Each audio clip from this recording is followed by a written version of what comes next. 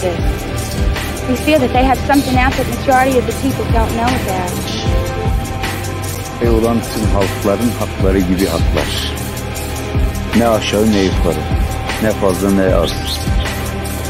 pent-up feelings that, that may result from decades of repression and people who've had members of their family killed by that regime. A lot of killers. Get a lot of killers. Why you think our country's so innocent? But I won't attack it because someone sicks me on. I don't let anybody use me to fight their battles.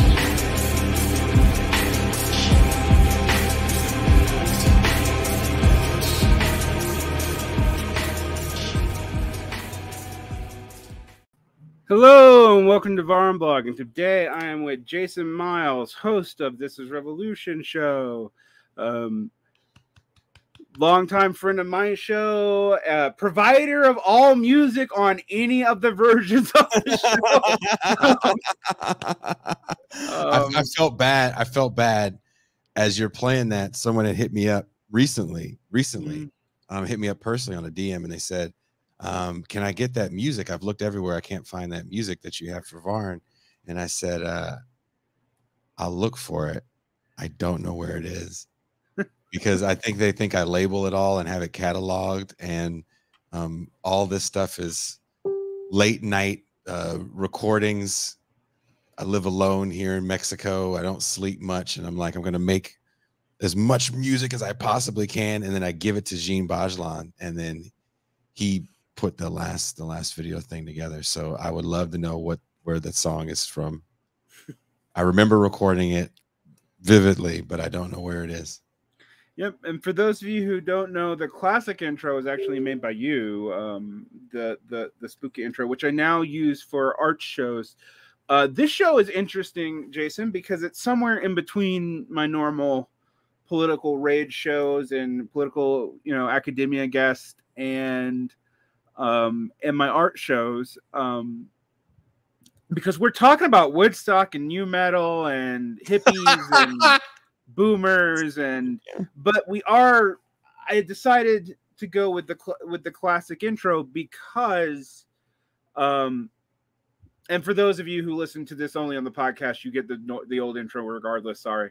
Um uh because it's we're talking about the political valence of it. You have an article that's going to be coming out with Sub- uh with sublation magazine on this recent rash and i actually kind of want to why do you think there's a interest in Woodstock 99 right now?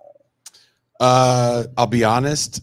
Mhm. Right before I left the festival world, they were trying to do another Woodstock, Okay. and it went from three days. Most festivals are three days: Friday, Saturday, Sunday. Mhm. Um, things like Coachella start on Thursday, technically, but there's not a lot of music. Um, and the ticket sales were really low, and then it went from three days to one day, and it was going to be two different Woodstocks. So we're going to have one that was more reminiscent of the nostalgic 69 show, and then they were going to have one that was more contemporary, and both things kind of failed. And I think these things were made as that was going to come out as a promotion because it's not quite like 25 years after one or the other. Mhm. Um, and that's generally how that stuff works. Uh, it could just be a coincidence that they just made both of these things much like the Fyre Festival documentaries that came out around the same time. Um, I, I I honestly don't know. Uh, TV production has never been my world. Music production and live event production has been my world. Working large festivals like Coachella and, and EDC, and you know, name one that that has over fifty thousand people, and I've probably been at it in the last five or six years. Yeah. At- From from a from a standpoint of doing actual numbers for the festival, like financial numbers. So not, Oh, interesting. yeah. So, so you and I, uh, I used to be way, way long time ago a music journalist. I don't talk about this much because I was in the zine world uh, in the late '90s and early aughts. Um, mostly in the Athens, Atlanta, Macon. Oh, okay. I have someone that you should meet. Actually, um, I'll have to send you a personal message that he actually did a documentary on the Athens punk scene in the '80s. Oh wow. It was Bill Uh, Cody. Okay, so like uh, both the Athens punk scene, the elephant, uh, the the Elephant Six stuff, um, and you know, so five eight, uh, the stuff around Bob Mould, Yeah. uh, Jeff Mangum of Neutral Milk Hotel, how who I who I really did see before they were famous because they went famous after he basically went crazy, disappeared, and was couch surfingly homeless as that album like took off like five years after it came out. Like it Mm. was bizarre the story of how Neutral Milk Hotel became super famous. But uh this that's my world. And the other part of that world and this is why i know a little about festivals and i can go i can go into stories uh, horror stories actually because my my youngest brother uh and i'm not going to name him but it, it is an ex-con and one of the one he was able to make a lucrative career for himself as a rigger at festivals. Um and so that's a lot of what he does. Uh the horror stories come with uh how you know even though they make good money they're off uh, a lot of them are uninsured if they're not in the guild uh and there's and they often get hurt and stuff can come out of that but uh, that's not what we're here to talk about today although it kind of is um it, it should be. It actually should be. You know, the last Coachella, I, I was I wasn't physically there. The last one Mhm. that I was doing some number stuff for, um, but uh, someone died. That was the one the year after Beyonce. So it was like 2018, 2019. Um, someone died actually. A rigger died. on that one. i think people really underestimate how many people die at these Yes. festivals and concerts like Yes. um because i was looking at the numbers for for all the woodstocks and what one people forget people died at all of them Yep. um Everyone. uh it, god the amount of lawsuits from the first one uh, you know i was reading your article and i'm like i'd forgotten they were that astronomical. Mhm. um but also like i think even non-infamous shows often you like people die at them all the time. Um there's a reason why the insurance on this shit's usually really high and they're changing. You know, the when you look at these Woodstocks, especially when you look at 99, Mhm. they kept going back to the same well for nostalgic purposes because and we'll probably get into this a little bit more uh, in the show, but late August in New York is very hot and is extremely humid. And they never really had an infrastructure in 69. They definitely didn't have one in 94 that could hold it. In 99, when they did have an infrastructure, you know, we'll- we'll, get into that. But when you look at something like Coachella, that happens, it happens in April because it's in the desert. It's hot in April, but it's not August hot. right? I used to work EDC, Electric Daisy Carnival, in um, in Vegas when it moved to Vegas. And um, the first time I was there, they did it in like June or July. I can't remember, but I know it was in the summer. And it was like 110 degrees. And we're walking around at 1 a.m. and it's still 100 degrees. And you just see people just falling, just falling. And then they got smart and they moved it to May. And it, it was a literally a 200% improvement. Literally, the first day a festival made more than the whole weekend before because of a change in when you're going to have it. So when we think about some of these things and we think about deaths, um, you never really think about heat stroke and exhaustion because these things are set up so differently now. And I'm sure we'll, get into why they're set up differently. But uh, that was a very common occurrence in 69. It definitely happened in mass in 94 and it- again in 99. One of the things I think we, we, we need to talk about because I, I would say that the rewriting of 99's Woodstock happened pretty quickly. Um, Yes. Like the, the rewriting of history. Um, 94 was sold as a success, even though it kind of wasn't. Mhm. Um, and the context, and I think people miss this the context of the festival because starting with Lollapalooza, which I think is Mm, really what brings mhm. 94, like Hmm. the infrastructure and the traveling festival of bring people, maybe we can do these big stationary festivals again, Hmm. um, th- like they did in the 60s for the boomers.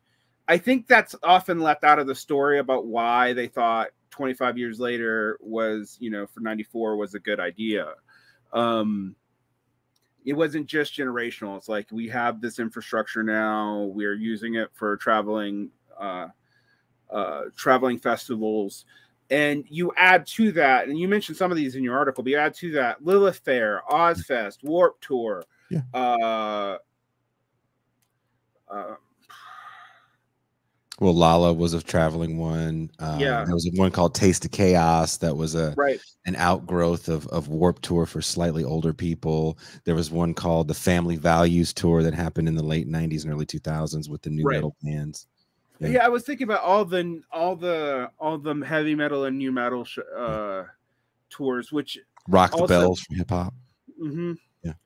Um, and then you know Coachella and all that happens a little later, which starts the re- it kind of does start these state these kind of stable singular location tours again. Um, yeah. It's it, 99 happens at the height of all that, and and I think people. You know, reading your show, I've always been like uh, your article, and I was like, why do people think Mhm.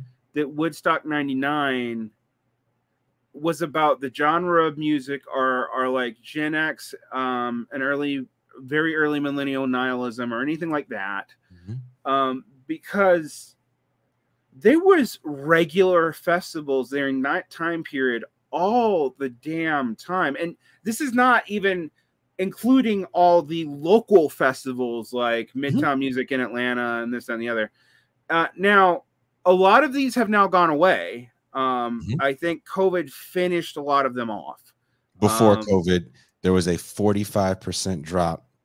In 2017, Mm, I think we were losing 45% of the festivals we were doing. 45% of the festivals we were doing were lost. The East Coast took it really hard. There was really nothing they could sell in New York, surprisingly. It's such a big market. Um, but COVID was a death nail in anything that was barely hanging on. I agree with you on that. yeah uh, because like warp tour ends right like you know with covid Warp and- Tour was another one of those things, and I, and I think, and I want to say this first and foremost: festivals are about selling product. Yep. The Then music, what's the product the, the music is the background, and there was no product to really sell in '69. They didn't understand that, and they never even understood it in '99. To be honest with you. Um, they really still thought the product was the music because you could still sell music to a certain degree. We're still at the height of CD sales. You have to remember Mhm. that. By the time you get into the later years of Coachella, you're selling stuff. You're not selling music. You're selling the experience, right? It doesn't really matter who's the headliner. It's the experience of going there right. And and that's what woodstock had going for it until 99 that it had this name recognition. Even when you think about something like warp tour for children that's about vans and sugary energy energy drinks. That's really what it's about the whole mm-hmm. time. Yep. you, you know you really think it was about ska music and and then metalcore in 06 no it was about i want to sell young people sugary drinks cigarettes and and and a lifestyle.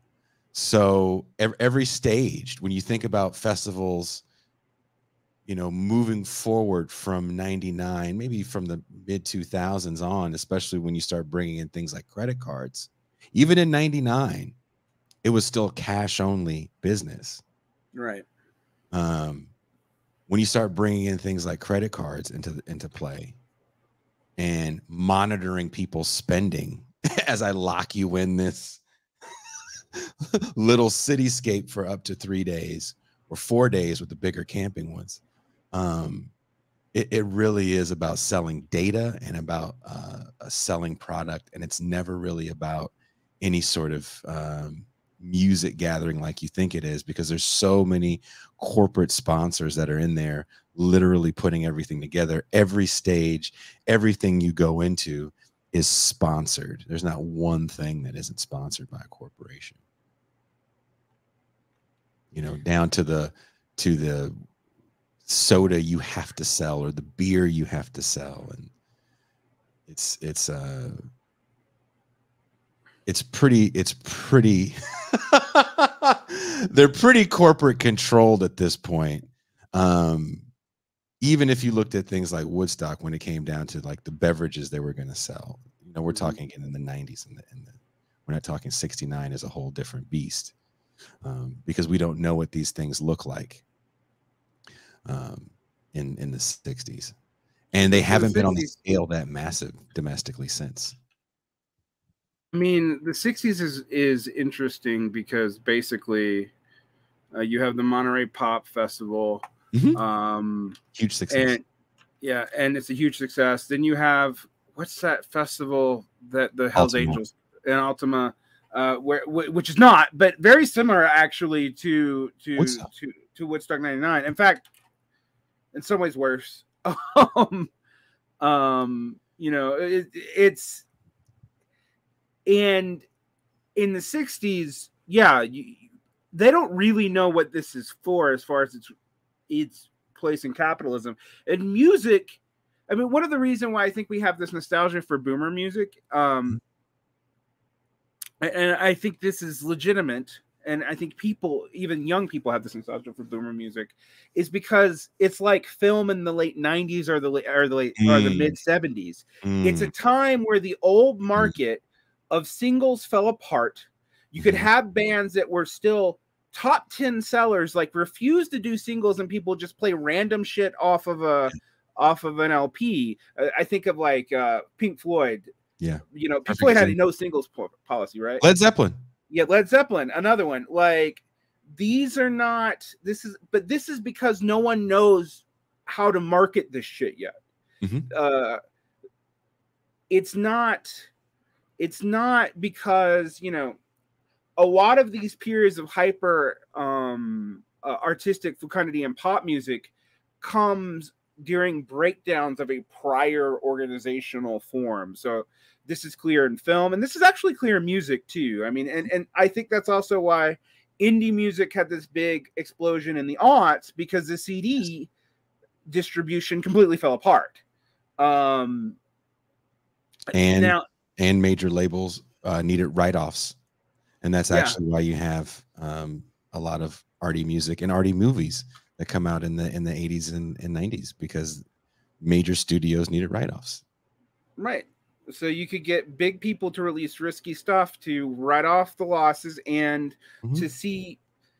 uh, It's basically a, a throwing spaghetti at the wall strategy, honestly. Kiss of the spider woman is a bit of an art film right but a Yeah. major studio does it spike lee's movies after she's got to have it these are some, somewhat art films but major studios are releasing them because they now have this wiggle room and also these small art films are very cheap to make and the returns mm. are great it always boils down to how cheap is it to make and how big is your return going to be right that's Right. what it always boils down to and the interesting thing about the 60s is this is pre the big stadium era of the 70s. This is before the pomp of the 70s. Not to say these guys weren't making a lot of money, but if you look at from from Woodstock, how much um first of all, when you look at 69, and I think people need to understand this about 69 before we go on an idealistic bashing. Let's get into the facts of 69. The two men that proposed the idea to fund anything were two very young aspiring venture capitalists that wanted to invest in something. They just didn't know what to put their money into. And they put an ad out in the paper. You got an idea for us to fund? We'll listen to you. And uh, one of the there's four main guys for the first Woodstock, and one of the guys was a record producer, and he had wrote um, Dead Man's Curve for Jan and Dean, and he knew Michael Lang, who was an aspiring uh, concert promoter, music guy, and they wanted to build a studio in Woodstock because they had a bunch of friends that did music. They're like, "Be dope if we can have a studio, we could build it. We need like a million bucks." And they're telling these venture capitalists what they need, and they're like, "You know what we should do? We should throw a show." Michael just threw a show for twenty five thousand people. He had Jimi Hendrix perform in New York. Let's throw a show out here in upstate and do it. And that's Woodstock. That is why you have Woodstock. Not Mhm. because they loved peace, not because they loved hippies or free drugs. They literally, you have a handful of people that want to invest in something, two people that want to invest in something, and two guys that want to build a studio. That's all it is. And this idea gets blown out and built out, and they actually lose a permit about a week or two before the show day. Any other time, if this happens today, no festival. That's Fyre Festival. Nobody's showing up to that shit. hmm If you do that shit today, first and foremost, you got to pay everybody half. I don't know if people know this. When you say, I want to book all these acts, you got to give them half, depending on who it is. Then, depending on who you are, if you're a nobody, you might have to give me 80% because I don't know who the fuck you are. Right? Sorry for Mhm. cursing. But, okay. um, we curse on the show. but uh and and the going rate at the time for artists in 69 was like five grand to play a show that size and they said we're finna we we're so flush we're finna give y'all 12 we'll give you guys $12000 to play this thing that we're gonna do in upstate new york that we literally can't get a permit for information doesn't travel as fast as it did back like it does today right you think if all those dudes would have known they didn't even have a site a week beforehand, they would have showed up and they had no way to get in and out? They would be like, sounds like a nightmare. How are you even going to build a stage for us? Right? That Yeah, thing was bound to fail. You, you know, and and I believe their original uh place they had, which had an infrastructure in it. Remember when they move it they don't even have running water. Um, the first place they had was like seven thousand dollars, and because an article came out in the local paper that says, "Oh, these hippies lose their permit, they can't have their festival," a farm owner calls them up and says, "Hey, I just read the article about you guys in the paper. You can use my farm. I got six hundred acres," and they're like, "Okay, fine." And you know when they get there, like, "Well, how much is it going to cost us?" He goes, "Well, how much were you paying the other people?" and they said seven seventy five hundred dollars, whatever. And they and the guy goes, put a zero on the end of that, you can use my land. So already you're paying, you know, ten times as much as you were paying for your original spot. But again, you had money to work with. These guys, they had they already had money. Um, one of them had a very large trust fund because he was the heir of a um, denture, like a Polident kind of company throne. Um, and he was able to take loans against his trust fund. To to be able to get the money and they sold a hundred thousand tickets. So the the feeling was our walk up is going to be so insane and we have so much space that from tickets alone we'll be able to make the money to pay for everything and then we can supply free food or whatever right? like an art festival too. And you know, they bum rush the gate. They assume about fifty thousand people are in the venue before it's even time to take tickets, and that's when they have that uh, discussion that you can watch in the Woodstock movie where they're like, "We can't go in there and tell those people to get out and then charge the money." And one of the beefs was, "Well, they came here with money anyway. they were going to spend it." we might as well take it. So that lasted maybe five minutes. Like we're gonna have a riot on our hands if we don't let them in for free. And so they just let people breach the gate and said, fine, everybody's in for free. So right there, you're everything you're operating on a loss. You're just hemorrhaging money from then on out. And then the technical issues, it rained, that caused problems. They almost shocked 50,000 people. wiring ain't the same as it as it is now, like it was in the back then, right? They had a Yeah, hmm, tarp. it's often not as good now as people think it is either. Go ahead. and I've seen some scary things at some of these places. but imagine in 69 and everything is makeshift. This mm-hmm. is a Fyre Festival size nightmare. How are you going to feed people? How are they going to get water in? If it wasn't for the National Guard helicoptering people out to hospitals, there would have been more deaths at the first Woodstock. So many people were trying to leave. If you ever watch Jimi Hendrix playing the national anthem, um, everybody's damn near gone at that point. That's why in Woodstock 99, if you remember, they're like um, in one of the documentaries, they talk about the fact that people were saying, oh, someone special is going to come back. They're going to do a special thing for 99 because of the 30 year anniversary. Well, Michael Lang knew from 30 years before if there's nothing for anyone to stay for, they're just going to leave before even the, the last artist is done. For just just to get out of town and not get stuck in traffic, you know what I mean? Um, so he kind of knew how to, to a certain degree, hype stuff up.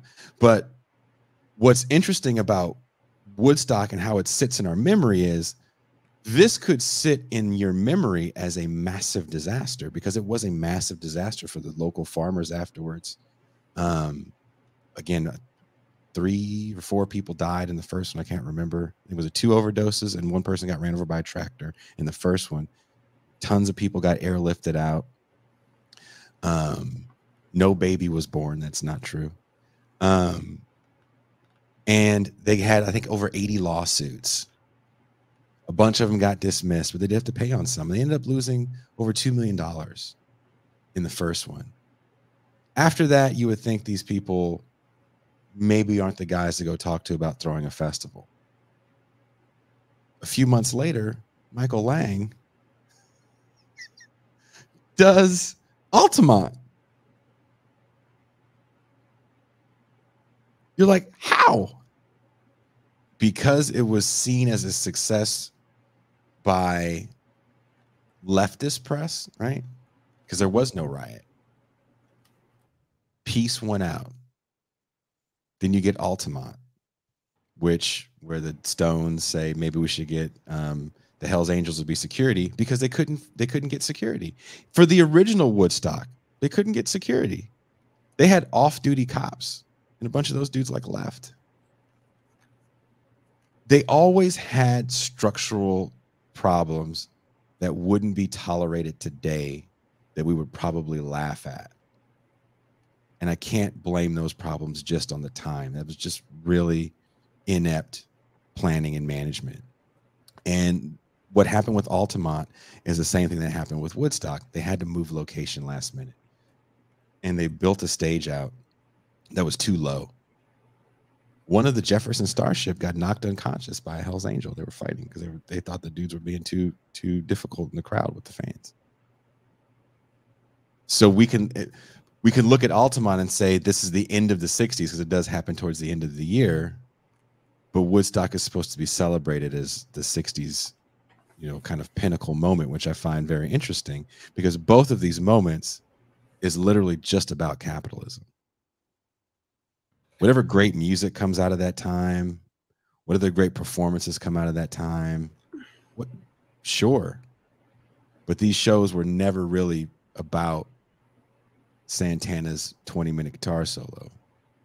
It's about commerce. And they were, you know, Altamont, Woodstock, and then Woodstock 94 becomes a failure. But by the time you get to Woodstock 94, it's a marketable brand name when it comes to iconic American festivals. Right. I mean, this is uh there's a whole lot tied into this, and I, I do want to like spend a little time sure, on the sure, sure. on the American press just a bit, and then the boomer recapitulation of that in the late 80s and 90s. Um, mm. uh, one of the one of the myths, the foundational myths, and and you know, it's a liberal historian who debunks this myth, Is not a good Marxist, but th- these books are actually excellent which is the books um, by Rick Perlstein. Mm. Uh, mm-hmm. um, Before the Storm, Nixon Land, The Invisible Bridge, and Reagan Land. Mm-hmm. Um, and what you learn is one, the new left was mostly silent generation, not boomers anyway. Two, the relationship between Haight Ashbury and the new left is tangentious AF anyway. Three, um, the relationship of the anti-war movement with Haight Ashbury is more real, but it's still tangentious, mm. and it's kind of a, you know, the SDS makes uh, ties that into the history of the new left directly, so that's that is real, but it's kind of also two separate developments that just kind of converge on one thing and then get rewritten um weirdly because of anti-war protest in Ohio of all places as a kind of unified political movement. And then in the leftist political imagination and by this I mean the far leftist political imagination gets tied into the European uprisings and the anti-colonial uprisings in 1968 Mhm. which they don't really have that much of a direct connection to. Now, in the popular imagination, by the time we get to the 90s, all this leftist political stuff is a vibe. like, like it's a vibe that people throw around as a cultural vibe. And they mention some of this, but then they'll talk about like the excesses of the weathermen, you know, the days of rage. And and I think people also have no idea that because when, even when people talk like I love it when boomers are like, this is like five, six years ago, this is the most divisive time in American history. And I'm like, okay, on like a superficial political sense, that's true until you go back to the Civil War. But I, I want to remind you, the days of rage happened. Do you know how many political assassinations and bombings happened in the early 70s? It's like on the scale of thousands. Um, you know, there was literally like a weekly, a, like a weekly. We just hijack a plane and take it to Cuba, and Cuba sends sends the people back, and that just happens, and no one cares. Like that's the context. But by the the reason why I think you had to wait till after Reagan for this to happen, all right, is that you needed time for a couple of things to happen. One, people always overestimate how progressive the overall boomer generation was and Perlstein like has hard numbers on this. Um in fact, anti-war sentiment despite what people think was actually more popular by by like normies in their 30s um in the 60s than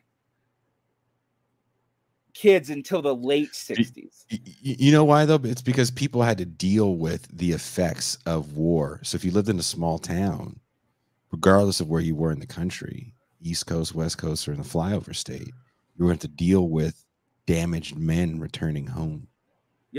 Um, and we're coming home from Korea, which is uh, like the war that we kind of don't talk about. Yeah. You know. Um and a lot of families that would be be conservative or even reactionary were against Vietnam because they saw what had happened to Korea.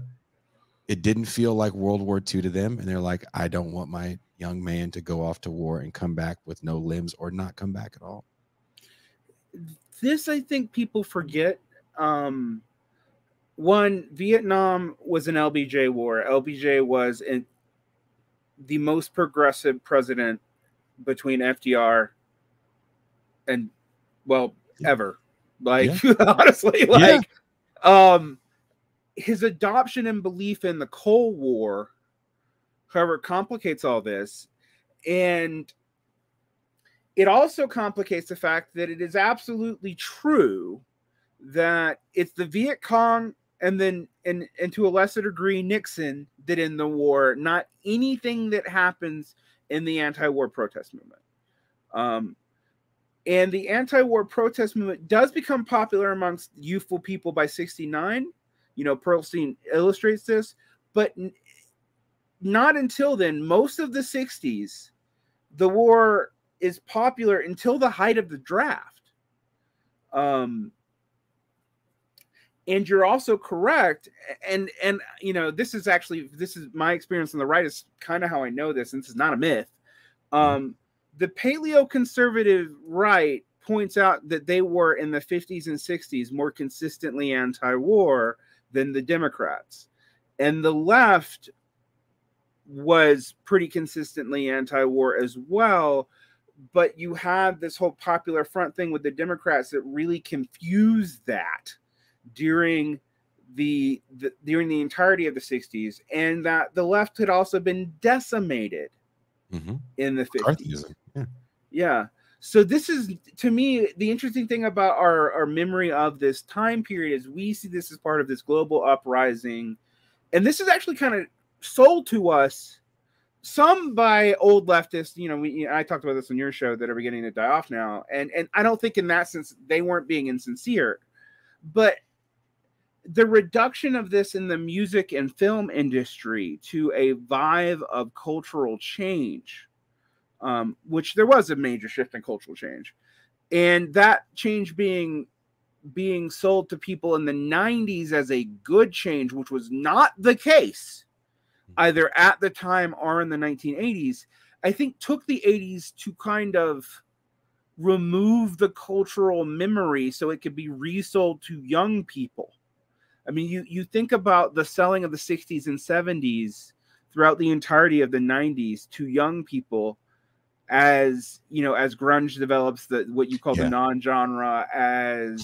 um you know as hip hop comes comes about Yeah. um as alternative and indie rock both develop kind of independent um Mhm. identities from their new wave and and post punk past um and are radially marketable the only thing they can kind of turn to is this cultural reco you know this cultural what i think is effectively recuperation and branding of capitalist events as part of this political zeitgeist a political zeitgeist that is overstated. Like it's not even that real. Like, it's because you know what else happens in the 80s that everybody forgets? And i and i wrote this out of the of the uh of the piece because i have a very great editor named Djene Bajalan Mhm. that told me in his british accent i'm not even going to try to do it because i always sound like robin leach when i try to talk like Djene Bajalan he said uh jason your problem is you know too much you can't put all this in there everyone forgets about the us festival Mhm. gentleman named Steve Wozniak, who people might know from their Apple computers, decided to throw one of the largest festivals in history in the desert, in I think San Bernardino. Um, Yeah. It launches the career of uh, bands like Motley Crue and I think uh, Quiet Riot hits number one soon after they play the US Festival because there was an entire metal day. Uh, Yep, Sunday, the metal day, uh, Saturday, the new wave day. You know, um, there was a country day, which is kind of crazy. Which is crazy when you think about it, but country was still popular. Shows like Hee Haw still came on uh network. about. yeah. I watched it as a kid. Like I watched Hee Haw as a kid. So yeah. So I mean, and, and I'm saying words right now. People are like, I don't know what you guys are talking about. You know, it's on YouTube. Look it up. yeah, Hee. Haw and Soul Train were my introductions to music. So, true facts. Like, like watching Soul Train on the weekend and Hee Haw. Like I forgot when he. I think Hee Haw came in on Friday or Saturday night. But it was, you know, and. And, and these, uh, the, way- the you were laughing. This was not on cable. This was on broadcast. regular network television. Yeah, You I'm the same. Derick, I'm the same way. Yeah, I know. We're, we're about the same age. Solid Gold, Yep. Soul Train, Hee Haw. We Uh, watched what those was uh, shows. Saturday Night Special? If you stayed up late enough, that was for rock. yes, super late. Yeah, night flight and all that crazy shit. You stayed up Right. super late for that. But no, no, no, no. Uh, the Us Festival didn't catch on. Wozniak lost a bunch of money. He had it to lose, but uh, and didn't really care apparently. Um, no one talks about that when it comes to like massive festivals that were kind of game changers. And Us Festival for a lot of uh, artists of that time were massive game changers for them, especially when it came down to, to record sales. I think they performed in front of like a half million people, close to it. Um, so you don't really have anything else domestically in the 80s because I believe Live Aid is overseas. Yeah, a lot of it. You have Rock Against Racism, which I think that's the only other thing that really happens, and that kind of that gets complicated, and it's mostly actually outside of the United States, but that gets Hmm. complicated because of protests around Elvis Costello. I'm actually going to do a whole another podcast. Oh, that's gonna be interesting. uh, with a friend about that because Elvis Costello uses a bunch of racial slurs, um, really drunk, uh, to pit to deliberately piss off an American musician, a white woman American musician, uh, who was playing with Stills from the Crosby, Stills and Nash uh, band, and there's a fallout from it, and Ray Charles basically steps in and ends the fallout. I won't repeat what he said, but he gets even though he was if you know Elvis Costello's lyrics, he's absolutely obsessed with the beginnings of the National Front and its relationship to Oswald Mosley and um, and stuff in Britain. Um, and basically, he uh, has a rant where he calls uh, a bunch of uh, of he he talks about how low class American artists are, um, and then use and very drunkenly uh, calls uh, Ray Charles uh, something something racial expletive. Um, and he also this is when he's released it's right after he released uh, his uh, album um, uh, armed forces which also uses the term white racial expletive but uh, as a term that would have been said about the irish during uh, during the 40s um and so this all gets this all gets conflated in america and so mm-hmm. even though he's a big promoter for rock against racism he's being protested at the events and it kind of ends the show here and it kind of goes on in britain and it actually ends elvis costello's career here for a little while he does get effectively canceled um and then gets resold to the united states um uh in a and a weird thing, um, he's he's one of the few people I've known to really recuperate uh, his image uh, and and do a lot. Uh, one of the things he does, uh, interestingly, and this is a tangent, so I'll end it soon. But like he records uh, a you know almost blue, which people don't realize is a tribute to Ray Charles because Ray Charles is famous. Like how Ray Charles breaks out to the music world, people don't know this is and and and people who think that it was just white people singing black music and that's how rock and roll started really don't know the history and it's kind of dangerous to mm-hmm. in in a rewriting of the class origins of this music because Ray Charles grew up on country music and his first major breakout hit is him doing uh, jazz and blues takes oh. on country songs. It's modern sounds of country and western music, which is not a country album. Um, but that wins him his wide audience. That that actually builds a lot of the bridges that allow stuff like Elvis and shit to happen later. Um, and so Elvis Costello records this album that's basically him doing country music as a tribute, partially to Ray Charles and to try to make amends with America. And then he has a soul album, uh, I think the year before, that's the same thing. But the story of this, because I'm going to do a whole podcast of this later. Um, that's why I'm going into in detail. But it, it kind of rock against racism fizzles, and then Live Aid happens abroad. So there is the beginning of this charity festival thing, mm-hmm. uh, but that really becomes more of a thing in Europe um, than here.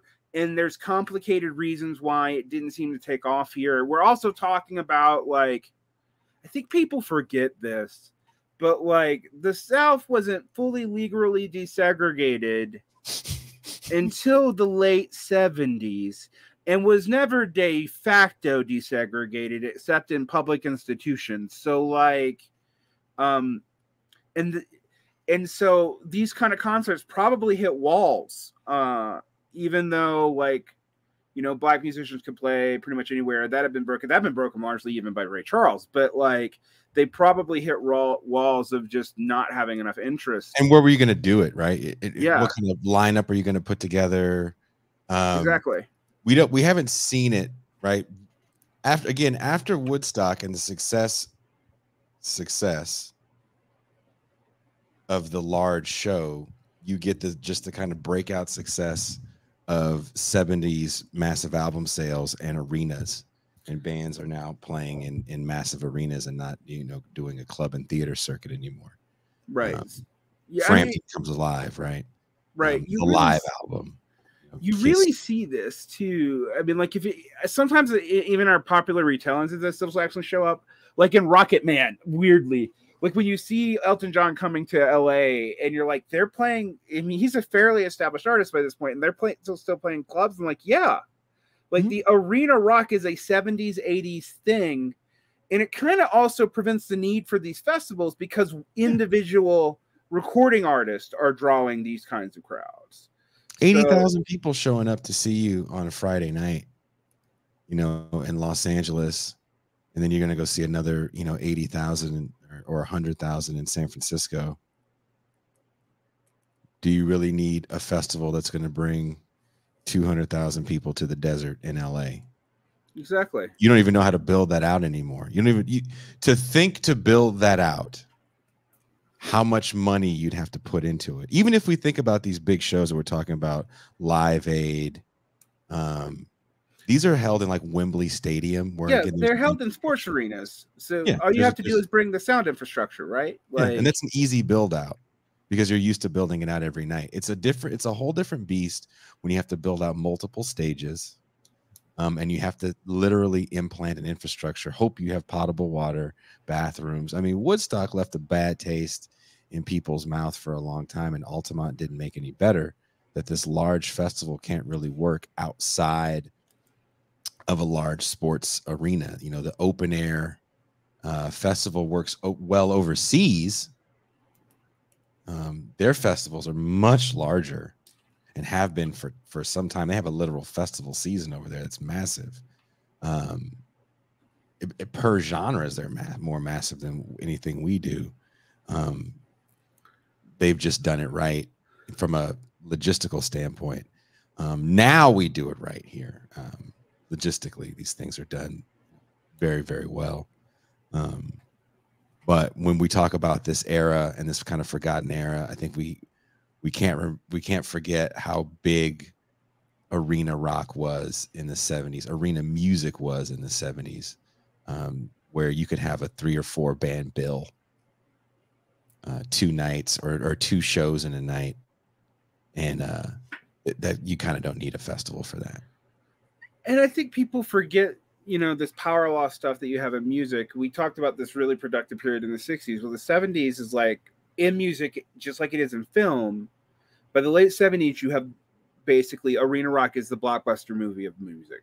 um, like that's like they figured it out. They figured out how to market a band, push them out there, and they figured out how to do it to niche markets too. But we also forget that the radio market, the FM radio market, was pretty unified at this point. Mhm. Like they had, you'd have a country channel, a rock channel, and I think you begin to have either, either easy listening and oldies channels, and uh, what a rhythm and blues channel would probably just been back then a black channel. Um, if you were in an urban, you quote know, unquote yeah yeah if you're in an urban setting um and so you have basically five demographic selling points to do so it's and rock rock and pop are the two kings um and with with rhythm and blues and stuff reaching out to a wide audience at this time i think you really start seeing that in the 70s you see that in disco too um yeah. um, and then you have this this dance music craze in the 70s as well. So that's another part of this. But we have figured out how to market these how to market these music and also cross market them Mhm. so that like country music people listen to you know can will you know they they have their country identity but they also listen to you know sometimes they'll listen to classic ro- well, what would then be just rock Well, classic rock. Well, let's think about classic rock and country. Uh, There's uh, what we now call classic rock, uh, and and country. There's a lot. There's a lot of through lines between those two genres. And when Waylon think about- Jennings is Waylon Jennings is Buddy Holly's bassist. need I say? Like right? and and he, he made his name by getting fired for playing Little Richard in Lubbock, Texas. Like like th- th- these worlds were not separated. I mean, No. actually, like rock and roll music is you take you take black blues, you take country music, you take you take uh br- you take Scotch Irish folk music, which is also part of country music, and you squish it together. Um, and and it's a and it's a kind of it's a refined version of lower class music, effectively. It's it's and the and also these markets in the 60s are regional like Mhm. rock and roll comes out of georgia it comes out of texas then it comes out of la then it comes out of new york but they but they're very regional distinct kind of movements. And like New York is more influenced probably by Britain in a lot of ways than it is even us. Like the I mean, do you really think the Mamas and the Papas sound like the Grateful Dead? I mean, they both come out of California, but the, those sounds are very different, right? They're extremely different. Airplane sound like shit? Who's come out? The Doors. So I do miss to a certain degree regional sounds. There's something I dig about uh, you know, listening to music from different regions and and having that region put its own little little flair on it. But uh no, you're right. Uh rock music back then, luckily living in the studio, I got to know um some of the old school dudes. I'm talking back from this Grateful Dead era. And um you know, music isn't categorized as much as it is now. If anything, it was categorized by ethnicity. Right, exactly. And and rock is interesting, and you even see it in like the Buddy Holly tour. It's a multi-ethnic tour. Mhm. Like um Big Bob, Talking about the know- last one. Talking about the Yeah. last one. Yeah, where where Valens is on it, and I think yeah, uh, yeah, yeah, yeah. is Jack the- Wilson on that as well. yeah, Yeah. yeah. So, you know, it didn't begin with Elvis, people, and so like, um, and I think, unfortunately, in you in your this actually is a good bridge to part of your point about 94 and 99 Mhm. um in the 60s california is just kind of solidifying its identity as the second cultural hub new Mhm. york is a cultural hub united states has always been interesting because new york has been a cultural hub and dc's been a political hub and they've not been the same place Mhm. um uh that's not true in Europe. That's not true in a lot of other places. But in the 50s and 60s, when we talk about regional music, I also think, yeah, like these bands are doing very different things. Like also, like even though Waylon Jennings, I, I love this. I love just bringing this up. Mhm. But Waylon Jennings is Buddy Holly's bassist. He does not sound when he goes and does his own solo career anything like rock and roll he's very much coming out of uh you know a country aesthetic. It's a it's a different country aesthetic. It's opposed to nashville. It's austin. Mhm. um back when austin still not a bunch of you know keep austin weird. Mm, not at all. yeah, yeah pre pre all that. Um we won't go into our rants about that.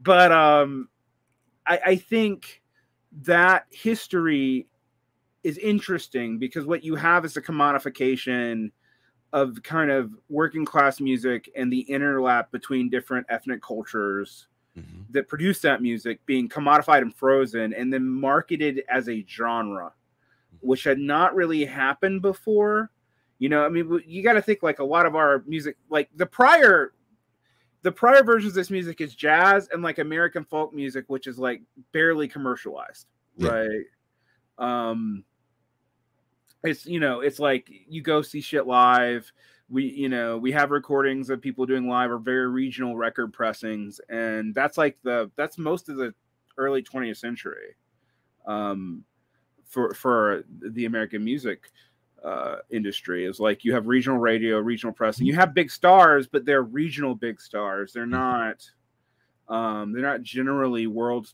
you know world You have to tour. stars. yeah and you tour and you tour tour. regionally like and you have to get on a big show. Like you have to be broken with uh something like Ed Sullivan at the time Mm-hmm. has to break you, and not everybody was going to be on Ed Sullivan.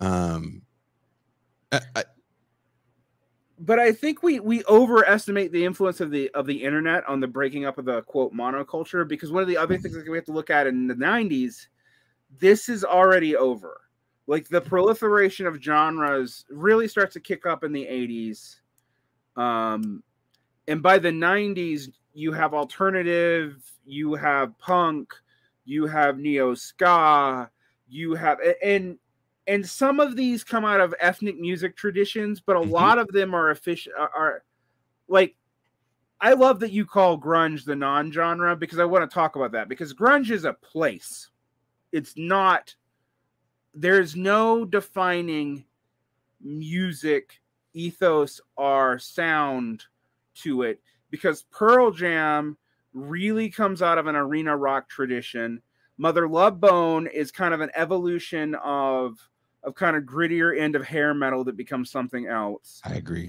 Uh. Um, Nirvana is Nirvana, Mud It's a Honey, and, and the Melvins are hardcore post punk bands. Yep. Um, and they're given a label be, that's based off of basically we're we're Seattle, not Olympia, and um, and that becomes a genre, right? Like, and Seattle is emerging as a cultural and capital hub. One of the interesting things about nu metal that you point out, and I think this is also true for hardcore, uh, is its hubs are regional. Um, and but they're not old. And by so and they're not LA and they're not New York. They're the the post-industrial Midwest. Um, they're forgotten parts of the South to some degree. Um, uh, and it's also now it now seems ham-handed and maybe accused of cultural appropriation or whatever, but it was an attempt at a a multi-ethnic crossover genre of music that was aimed at slightly deracializing the genre. All right. I want to I want to say something. So I don't know if I I know, I know you know this about me. So Facebook Mhm. just closed my personal account Yep. years ago. Before that happened, and I'm a dummy for not transferring this over.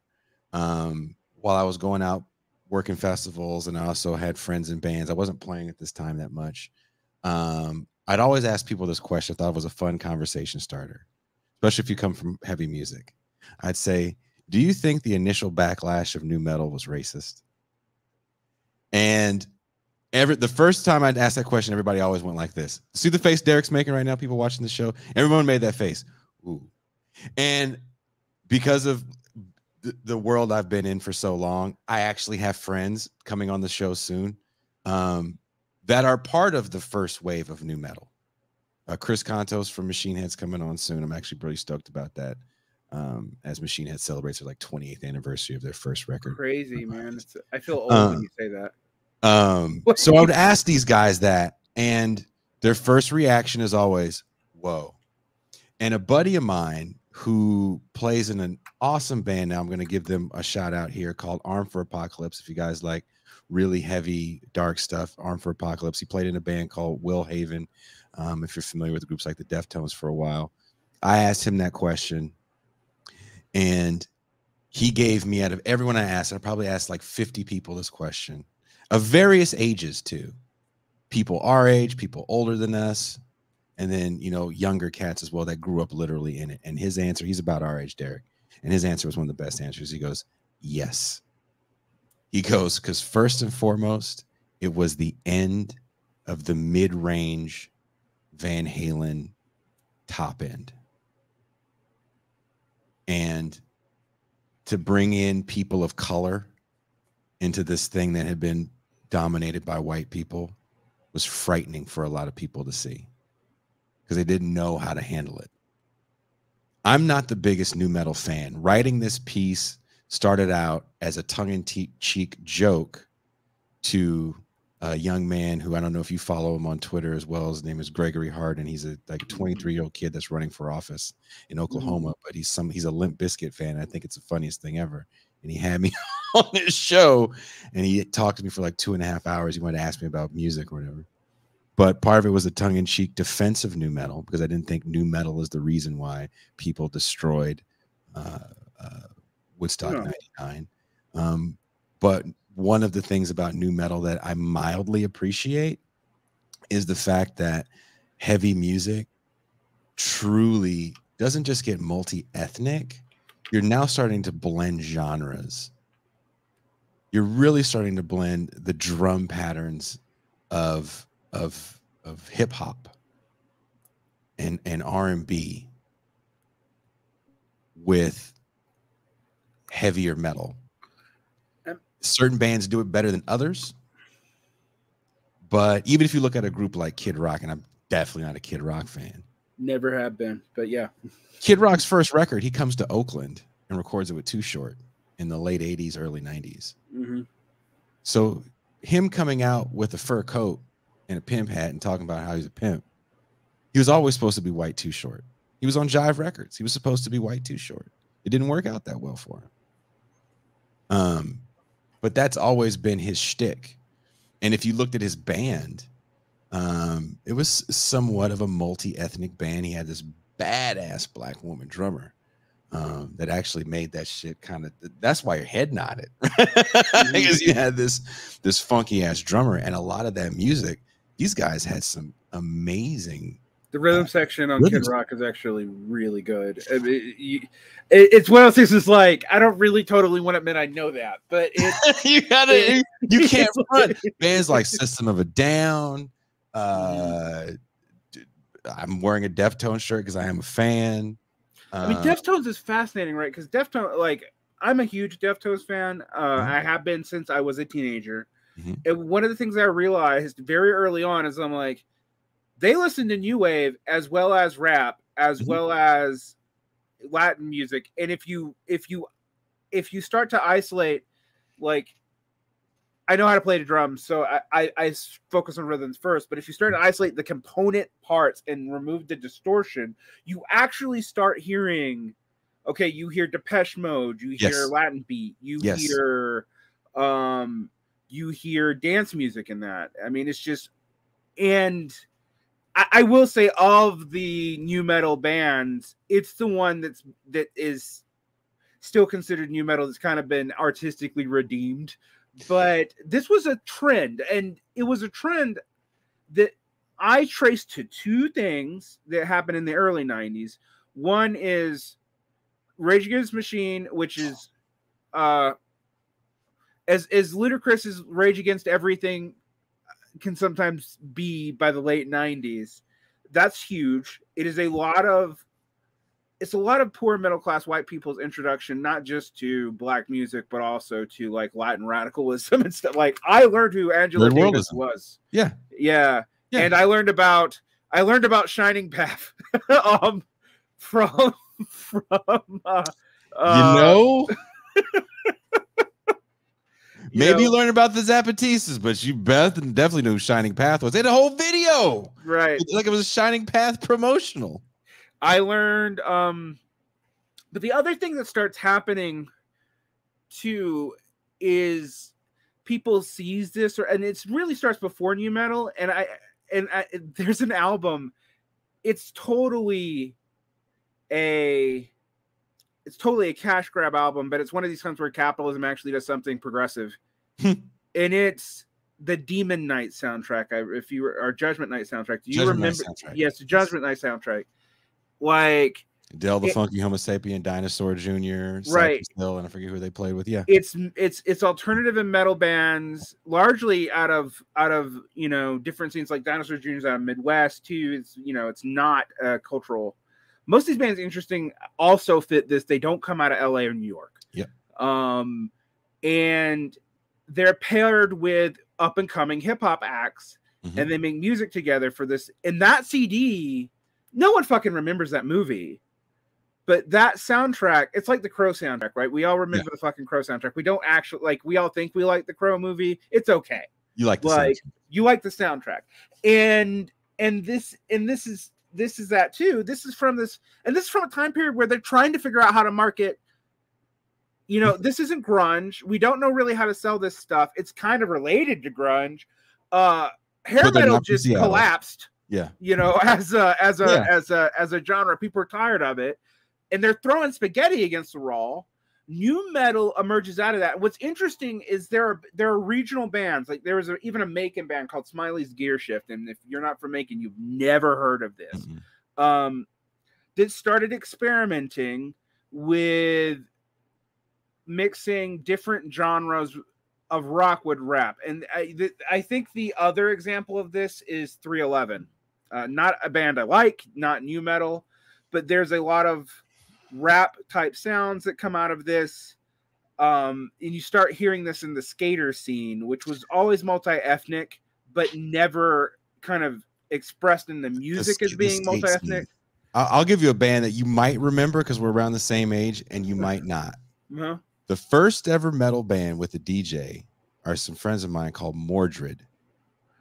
I have heard of them, but I didn't listen to them at the time. The, the, go back and everyone, if you want to get it, see what this stuff looked like in the '80s, they have a song called "Every Day's a Holiday."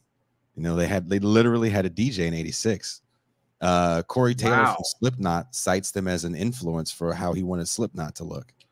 Right. Um, and I guess the other major influence is Faith No More. Faith No More and Epic, but it's just Epic. Yeah, it's just epic. Mike Patton doesn't do that the rest of the time, and that's not even a Mike Patton song. So like, Yeah, it's Um, it's just it's just epic and and Faith No More has always been its own thing. They're a huge inspiration on anything I've ever done musically. I love too. those dudes to death. They've been ex- extreme helps to everything I've done musically. But uh Faith No More and Epic, Anthrax and Public Enemy. Um, uh, I guess we're on DMC and Aerosmith. Even Run though DMC and. Aerosmith lets you feel a little comfortable with it. The Mhm. Judgment Night soundtrack, I I think actually sometimes people forget about how important that was to really get used to and get comfortable with the melding of these two things. Um, and I also think we also forget from a political standpoint, from political economy standpoint, you have a growing black middle class in the 80s. right. And also, when you even look at a band like Fishbone, if they tell you how their sound got cultivated, it has a lot to do with busing in Southern California. And they're going from like the South Central area and going to school in an area called the Valley, which is more uh, white middle class. And they're meeting these Valley kids that are all about punk rock and they're all about funk music. And they're seeing a bit of a through line in those things. And um, when you hear a band like Fishbone, you're like, oh, this is this is why those things work well together. Right. For me personally, I I, I love them. I love them. Um, And, you know, and I think this had happened before, but it actually really the real predecessor for this is the influence of ska on punk uh, and reggae on punk in Britain with the Jamaican refugees and the lower and and and the lower class parts of town. Mhm. Uh, and that gets replicated in New York a little bit, but they're copying the British, and not it's not the same kind of organic thing that happened. Um, but what I find interesting is nobody ever link. People talk about that, but they don't link nu metal to that. And I'm like, nu metal is a very similar development, um, and it also shows how much you know. You know, black punk was a thing. There's been black punk bands and, and Latin punk bands forever. Um, since there's been punk bands. Mhm. Well, at least pretty soon after there's punk bands. Um, you know, and you have other multi-ethnic bands like X and stuff. But what nu metal does is nu metal picks up on this grunge thing, which is dying because it's not a genre and they don't. It doesn't really have a coherent identity. Like, go back and listen to Pearl Jam and Nirvana and tell me what they actually share. Thank you. Um, Plaid. like They share yeah. plaid. they share plaid and they share That's Pacific. Northwest. That's Yep, it. that's it. It's That's it. um, and the other thing I wanted to, I, I tell people, and I'm like, go listen to that Kurt Cobain album that was released 10 years later or whatever. Mhm. Um, that's the recordings. A lot of this post punk heavy hardcore stuff Mhm. was also headed in the same direction as nu metal, and no one wants to own up to that. Like, I think Nirvana would have sounded a lot like some of these nu metal bands if they had if if they had stayed around and Kurt not died and Dave Grohl not taken you know his career back to more or less an arena rock sort of trajectory. You know, those guys were going in hardcore direction. And what does Novoselic do? Novoselic goes and joins the homies Flipper. Uh, Right. As soon as Kurt dies and does a- record with them, record or two, I think, with them. Um, Flipper's back on tour, by the way. Uh, so I agree with that. I, I, I think in my interviews that I can remember about nu metal, and again, and the answers definitely there was a huge wide spectrum of answers from fuck that noise, I don't want to talk about it to oh, I have an interesting take. And a lot of the more interesting takes were about the sonic change. And I could definitely see Nirvana going in that route because Kurt wasn't a guy for guitar solos. So nu metal for me is kind of the more simplistic parts of of heavy music. There's there's something called a palm mute If Right. you've ever heard, you know, Metallica's popular now with Stranger Things, right? So when you hear the first note in Master of Puppets, you you bury the your this part of your thumb on the on the low E string and you hit down on it where the string doesn't necessarily ring out very loud. You go zhung. With all the distortion, you get. And when you have double guitars and bass, that becomes more massive. And nu metal is taking that zhunk and just playing that to the drums instead of the drums and bass doing their thing and the guitar playing over it like rock music has been for years. It's the guitars playing to the drums. So that's why a lot of the nu metal stuff is like dun, dun, dun, dun, dun, dun, dun, dun, dun, a lot of open Right. notes. Um, and then choruses that soar. Um, it, it's interesting what you talking about this because I I've always noticed how much nu metal took from the hardcore scene. Oh, um, not not the postcard hardcore scene like Nirvana or like the like you're talking about the Jawbox. first wave, like yeah, the first wave, yeah, Black and- Flag, you know, Black Flag, yeah. and then and then later grindcore, uh, grindcore, and metalcore later actually are re- directly related musically to Yes. nu metal, even though we don't want to admit it. And then you know, there's progressive metal has managed to like we're not nu metal, although we all thought Tool was nu metal in the '90s. um, but we all do the same polyrhythm because that's what it's called a polyrhythm. So you're Right. playing a polyrhythm, dun, dun, dun, dun, dun, dun. and what you're talking about, what Derick's talking about with progressive music, uh, what nu metal was doing to even simplify it more was the bringing these seven string guitars mhm. where there's an extra low E string that's tuned to tuned down all the way to A. Um, and then a lot of stuff is already tuned to drop D too. So so now you're you're you're a whole two steps lower sonically so you have this just massive tone and you're playing polyrhythms and for the more progressive stuff now these guys are playing nine strings i have a good friend that's the official nine string player for emg um and you're talking nine so what's that like a Yeah. low e so I mean, progressive metal sort of differentiates itself from nu metal. One, because it doesn't incorporate rap, and two, even though it does incorporate a lot of, like, go listen to early Tool. There's a lot of ethnic drumming stuff coming Yes. in that, um, and and like tribal tribal drum. Like, I'm like I. I'm like, I hear doumbeks in this, man. Like, I, I hear know, you, got- you doumbeks. gotta have you gotta have those polyrhythms and these guys are playing to those polyrhythms Mhm. and then you start getting into those weird time signatures. I think nu metal is an over simplified version of that. right. You're not getting any kind of crazy seven four time signatures with nu metal. You're getting simplistic four four stuff, or even four on the floor stuff with bands like Korn. Doo, doo, doo. You know, it's it's it's it's almost disco-y some of the Right. stuff they're doing, but just with that that lower. but it's hidden from you because it's dropped so low and hidden and hidden behind a wall of like fuzz distortion yes, so you don't hear you know everything that's going on some of that's because that covers up mistakes in the music just like with punk and hardcore i mean hardcore also does a lot of this because it's it it is a it is a not musician nerd form of music Mhm. but i do think tool's an interesting band to talk about because we thought of tool as like that's high-end nu metal yes, until we rebranded it and realized oh that's progress that's progressive rock on you know a metal acid basically but but uh but we didn't know that in the 90s that doesn't really come until Lateralus and we like put it together Yeah. um but a lot of these bands i remember when we first when i first listened to them i'm like this sounds like tool but simpler with Mhm. rap and then you would hear either disco or soul and Mhm. sometimes white boy soul. I think I think the white boy soul element of this is often lost. And I, I want to point out, Limp Bizkit got famous doing a George Michael cover. Yep. Uh, so like, and it yes, we all read it as ironic, but in some ways it's absolutely not. So like that that trajectory is interesting. Um, and as a as a 14 year old kid who was in this music and lived in a multiracial, multi-ethnic this spoke to multiple worlds at once. yes, Because the one thing I want people, you know, I talked on your show once and, and like Pascal like freaked out. And I'm like, this was more common than you realize. Like in southern cities, particularly in Georgia and Florida, when stuff like Freaknik was happening, there's still a punk and metal scene, and we're still playing.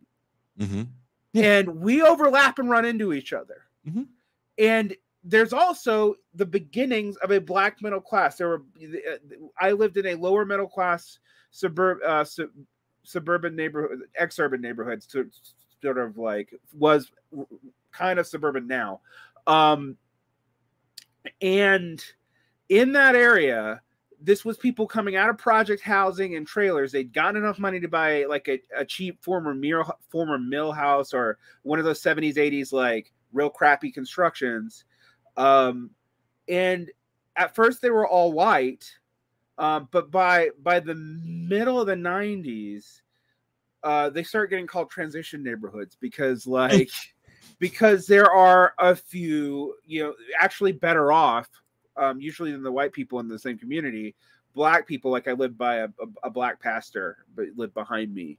Um and what and so we are also culturally more together and i'm in a confederate a former confederate state so we are bussed and integrated in the high schools as best we can. So before white flight turns to almost all private schools uh and this this area that i lived in didn't have a private school. There wasn't even one to go to so we were a 50-50 school and yeah if you went into lunchroom you, you'd see a couple of white kids go over on the on the white side uh, on the black side of the room and a couple of black kids go over on the white side of the room but there's very clearly a black and white side Mhm. but we knew each other we interacted with each other we were friends we understood there were boundaries that you did not cross Mhm. um like when i would go visit my black friends like the cops would tail me because they couldn't figure out why the hell i was in the black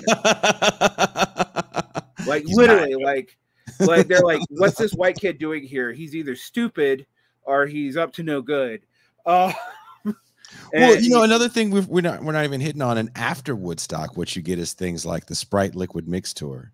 And, Oh, yeah. um, that's when Sprite was mixing the hip hop groups of the day with more contemporary, harder rock groups. So, as Derick was mentioning, 311, um, 311, Hoobastank, Jay Z. Um, I want to say the Roots were part of it for a minute. Um, mixing of genres started to become more and more popular. Um, if you remember, Method Man and Limp Bizkit have a song together on the the album with Nookie. I think it's Three Dollar Bill, y'all. Um, they have a song together. So these worlds are definitely crossing, and there's a shared experience in these worlds. Um, so when you think about the tours these bands had been on, especially the first Ozzfest. The first Ozzfest is kind of dominated by these guys on the small stages. You have bands like Sevendust. That's where Sevendust becomes friends with Snot. Kittie is is out of Canada. They've consistently been multi-ethnic. Uh, Limp Bizkit, the Incubus, another multi-ethnic band. Um, pod's multi-ethnic who PO got POD. Most of these nu metal bands have some brown people in there, right? It's just it's just the makeup of where they're from. Like we're talking about, these people aren't coming from the the the superstar cities outside of bands like Linkin Park. right You know, they're literally from from from LA. But uh all the groups that we're naming right now, nobody's really from a from a superstar area. Yeah, and, and so I mean, I also like we were talking about butt rock the other day, and I was and uh and I- don't even understand that categorization. And they had a lot of because another thing that happens with nu metal is is it gets associated with this post grunge arena rock, and I don't really know why. I mean, this like Creed. yeah, it gets associated with Creed and Creed and Breaking it- Benjamin. I think there's a tonal quality, right? Because Creed there's is this muddiness to the sound, right? there's a, there's a there's a part of that grunge scene. This is just my we've so deviated, and that's fine. Uh, people are mad. I'll take that L for for. We're gonna do a whole second show. episode now just on '99, guys. Okay, like I, I, I've, If I've you made think- this decided. So because If if you think about this, I did this tour. we have two music nerds talking about politics and music, it's not You, you go got, well. you got me thinking about this tour I was on. Uh, Uh-huh. when I met when I actually met my ex in 2009. I did this tour with this band that was more radio rock friendly, and they were into Alter Bridge and Creed and Breaking Benjamin and Nickelback, and it, like those things weren't bad words to them. And you know, I have one rule on tour, and that's whoever's driving picks the music. Mhm. You got to deal with that L, um, because you got to drive. And we were towing a big ass trailer, and they're like, we, "We're hiring you to tour, manage, and drive." I was like, "Okay, well." Y'all aren't all that other shit that I had to hear when y'all were driving. You're gonna hear my shit. But in listening to that shit, one thing I will say is there was a tonal quality to a lot of that stuff because there is an overproduction to it. Nu metal Yeah. also wasn't done on a four track. These guys, most of them got, you know, pretty big deals. Um, the Deftones to me are the exception to that because Terry Date, who did the first three or four Deftones records, Terry Date is coming off of doing Pantera albums Right. So it's a very different. He knows how Dimebag needs to get his his crunch over. And the first Deftones record actually is in standard tuning. Yeah. Go back and listen to Adrenaline. Um, he's playing the chords a little differently, but it's standard tuning. And Terry Day doesn't know what to do with it sonically. So the Deftones aren't the biggest fans of that first record because sonically it doesn't really sound like what you get with Adrenaline, where they kind of uh, I'm sorry, not adrenaline. I'm sorry, around the fur, where they kind of figure out, you know, this is how this band should sound. And also Stefan tunes down to to drop uh, C sharp, where Mhm. a lot of bands are.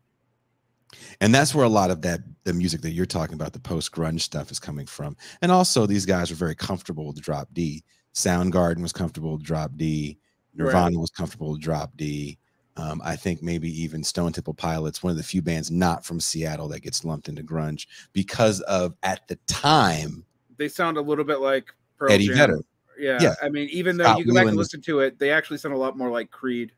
But Oh, dude, go back and listen to the first Stone Temple Pilots with like sex type thing, like I am, I am, I am. Yeah. it- it- hey, there's no- they do interesting stuff later, actually. But I think Velvet Number Revolver, as annoying as that band was, is a return to Yes. early Stone Temple Pilots and and not the experimental form that we all kind of remember post the Crow soundtrack and kind of block out like creep and sex type thing and. Um, and everyone's like, "Oh no, the the Gen the Gen Xers are now totally in there." I mean, look, dude, I don't, but I don't care about any of that. I think go back and listen to some of that music because I think it's good. r- things run in cycles. I'm I'm watching videos now of there's a young black girl that's that's getting all this press and guitar magazines and blogs. She's a pretty decent player, um, but she plays nu metal.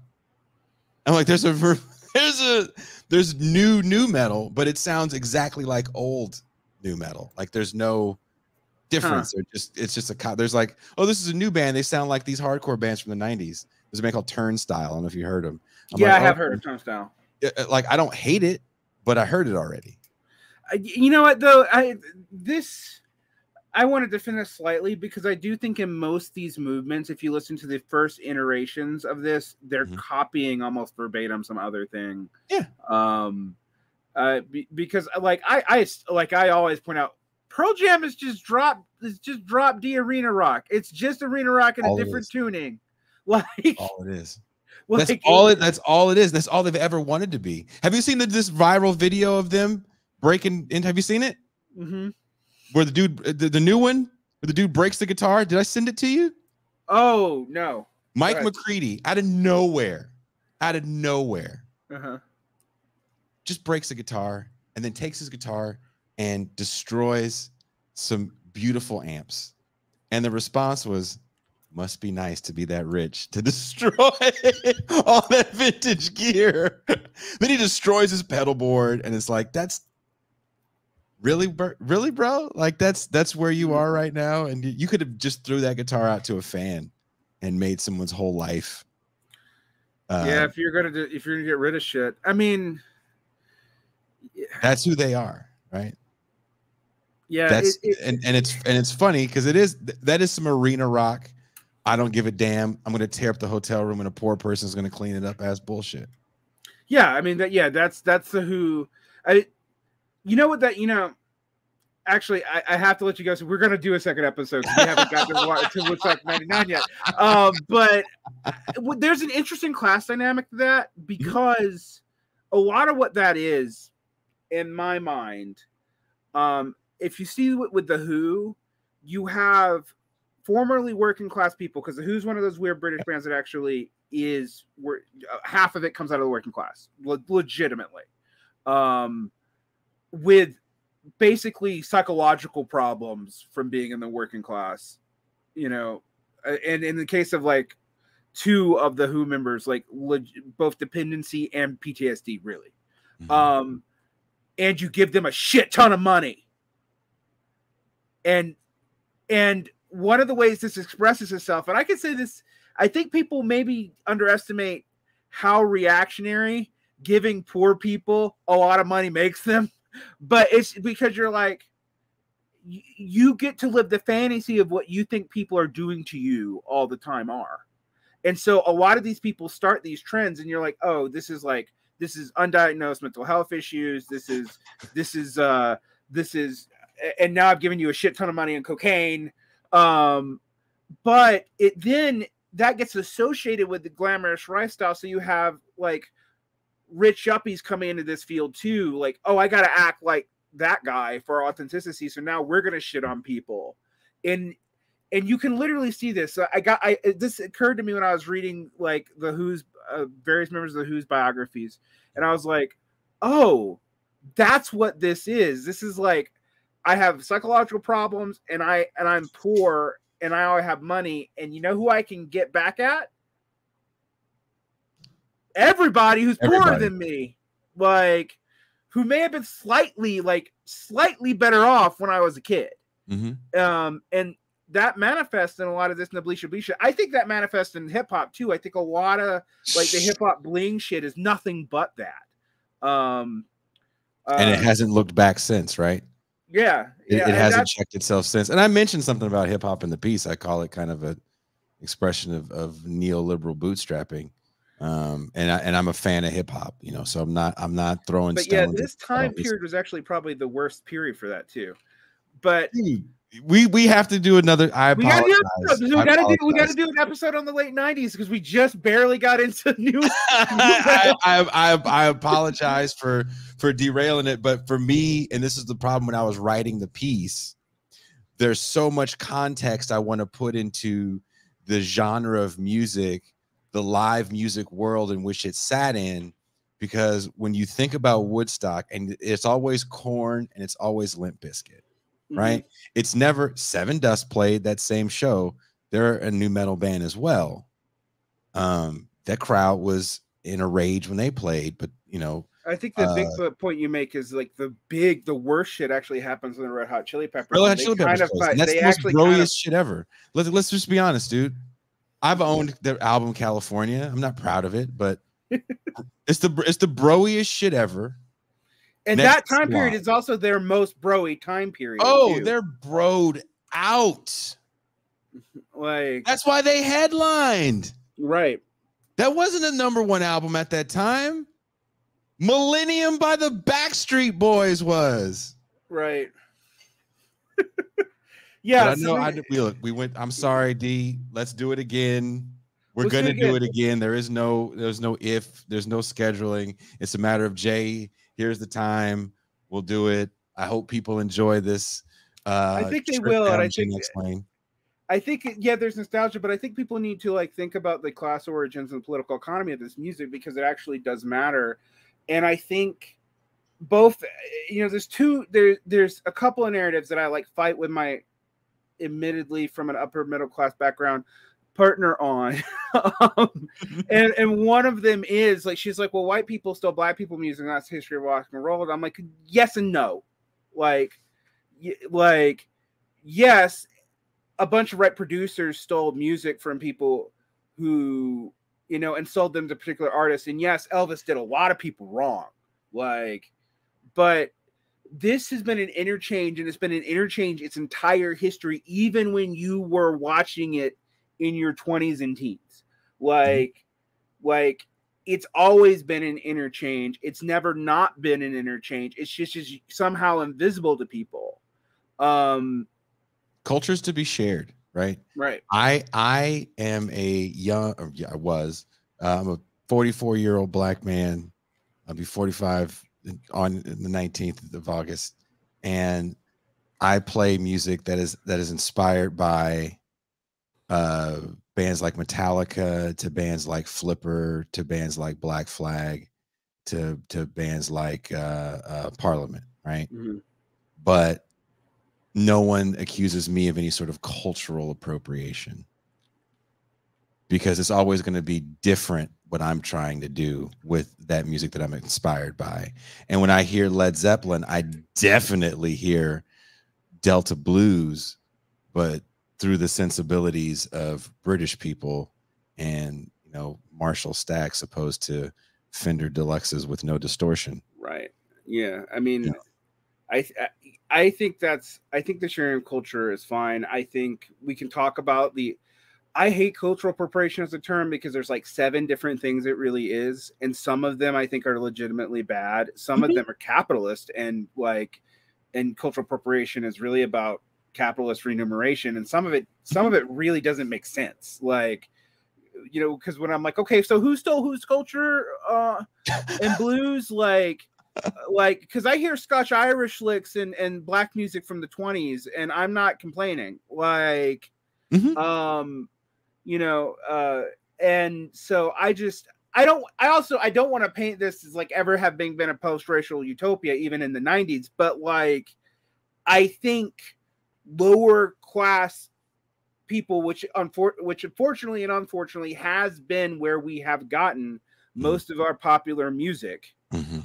is always more ethnically interconnected because you can't afford to shield yourself whether you're racist or not Mhm. like like Mhm. you just can't afford it and that Um, stuff starts to look a little different in the 90s in my opinion because it's not coming from the ghettos of detroit no it's Right. coming from it's coming from people being burst out to suburbia and then coming back into the city like that's what's going on Yeah.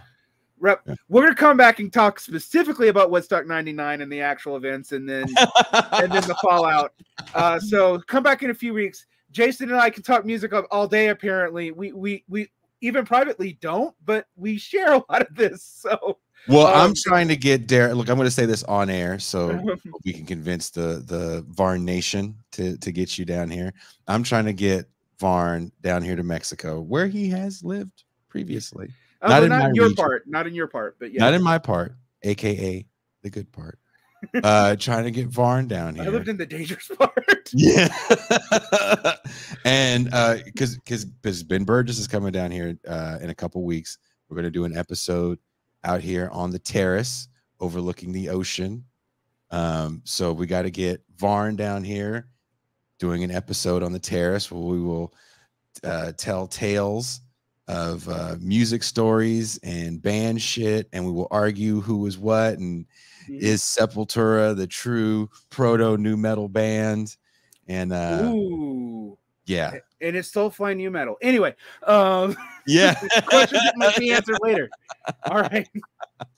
and also we're trying to get Varn to the LA show so then we can all go to the Rainbow and maybe Mm-hmm. we'll broadcast from the Rainbow post show and uh, you can see Varn hanging out with Slash. Whoa, that'd be awesome. Careful what you a big, for. I'm a big, I'm a big Slash's Snakepit fan, and no one remembers that band. Be careful what you wish for. All right. All right. Well, um, thanks for coming on. We'll do this again in a few weeks and we'll get all this stuff done. Have a great evening.